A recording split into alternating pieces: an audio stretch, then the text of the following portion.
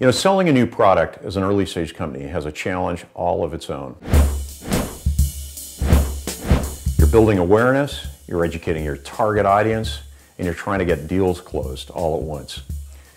It's what makes the early stage sale exhilarating and difficult, actually very difficult. It's a missionary sale.